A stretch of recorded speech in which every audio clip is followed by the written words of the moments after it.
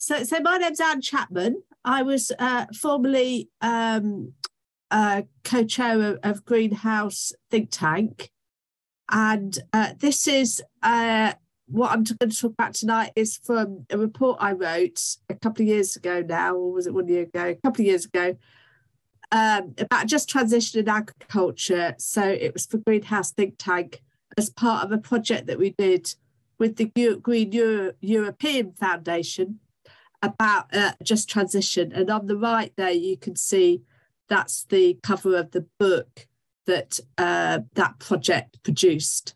So um, there's a my um, just transition agriculture report, which is about 20 pages long, and then that ended up being edited down to form a chapter of the book.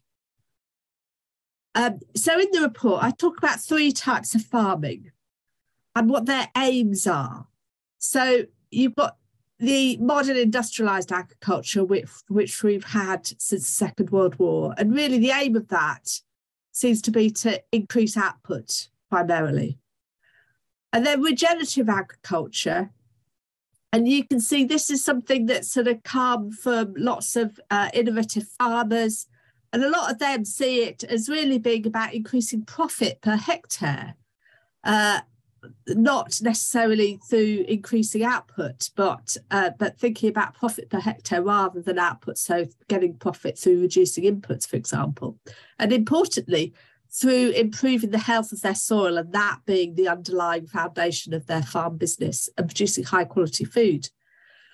Whereas then you can see other people as doing what they're doing is really, well, I call it farming for nature. So things like conservation grazing where the aim isn't primarily about producing food. Food is a byproduct of activities that are carried out primarily to improve um, natural habitats, uh, natural processes, etc.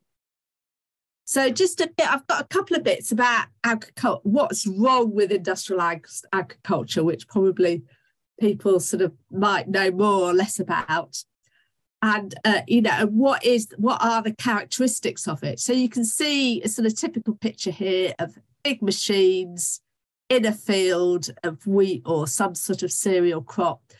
And you know there's nothing else that we can see growing in that picture apart from the crop.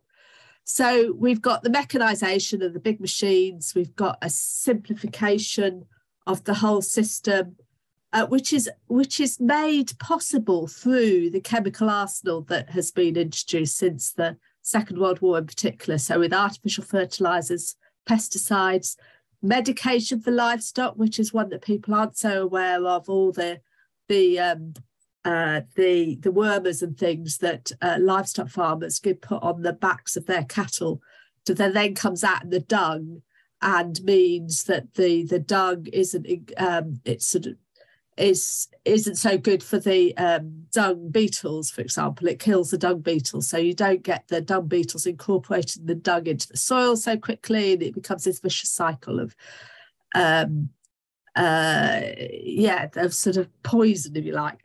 And then also with this has come new breeds of plants and animals. So the cows in the field now are generally not the cows you would have seen 70 years ago they're different animals, particularly with dairy. The sort of the production of the dairy cow has increased enormously to the extent that the dairy cow, the modern dairy cow, is a fragile beast that needs uh, a lot of the right sort of food, gets lame easily, gets sick easily, and needs lots of medication to keep them to keep them healthy, and lots of care and attention to keep them alive. It isn't very robust. And then along with this, and perhaps you can say it's the cause, as the, there's the concentration of supply chain upstream and downstream of farmers. So, uh, and, and in which farmers have very little power over the cost of their inputs or the cost of their, um, or what they can get for their outputs. And this results, as we know, in no space for wildlife, pollution, uh, and, and also a lot of livelihoods in the country. The number of people employed in agriculture has drastically declined. Lots of farmers have gone out of business. And also, we've got hunger in the midst of oversupply uh, globally, in particular. So, just to say, this is a bit more about because lots of people think about intensive farming and they think about intensive um, uh, livestock farming. But actually, the livestock farming, that intensive livestock model, is made possible by the intensive um, arable production, which is enable which is able to produce grains, maize, rice, wheat, uh, very cheaply in huge quantities. So those grains now provide over 40% of our calories, resulting in a sort of with an un, a cheap but unhealthy diet. And, and and then we feed the excess to to the chickens and pigs in particular and to cattle to a certain extent. And we waste a load of food and exporting excess grains to less developed countries destroys their local farm economies and leading to hunger in those places because because they're not they haven't got a sort of thriving rural economy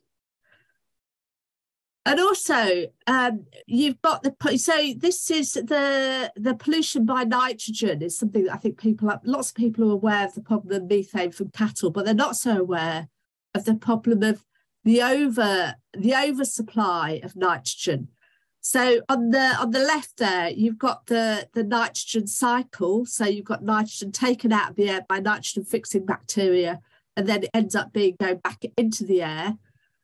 But in the current system, we have uh, inputs. So this in the in the sort of Europe, Western Europe in particular, we've got two massive inputs of nitrogen into that system. We've got the ammonium nitrate fertilizer, which is the artificial fertilizers that farmers put in their fields, and we've also got the uh, the protein-rich feed material like soya, which is imported from South America in particular, and then fed to livestock. Oops, sorry. Oh, there we go. I'm just trying to uh, move my my little thing with the pictures in so that I can see see my slides.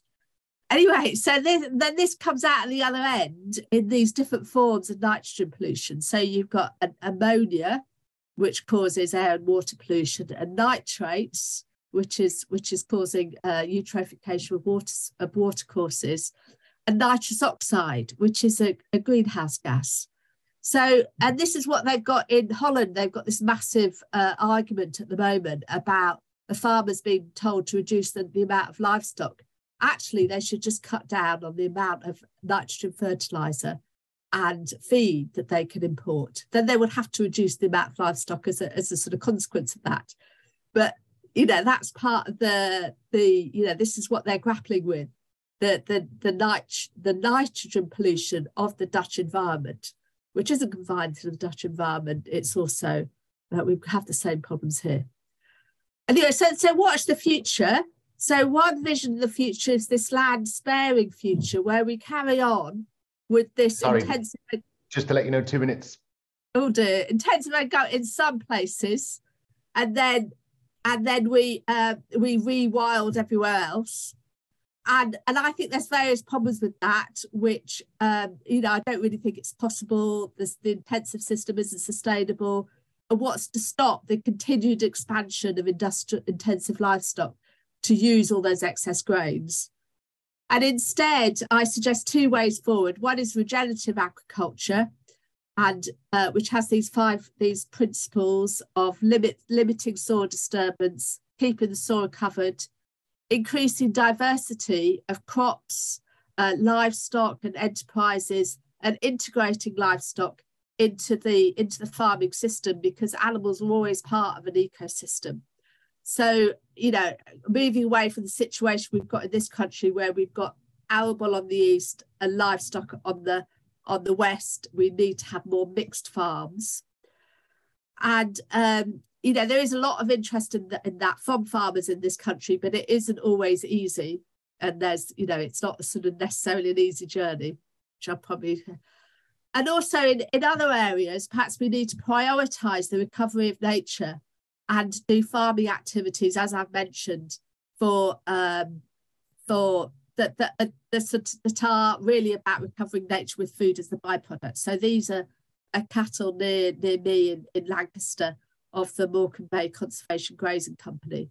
And they're, they're grazing, there's an area near us, which is where most of the land is now owned by conservation organisations, and they've realised that they need to have that land grazed rather than simply, um, you know, if you stop farming on it, which is what had happened, then uh, the the quality, the biodiversity declines. Uh, and anyway, so if you want more information on regenerative agriculture and farming, including case studies, videos, there's a couple of interviews with a couple of farmers, and some podcasts now as well.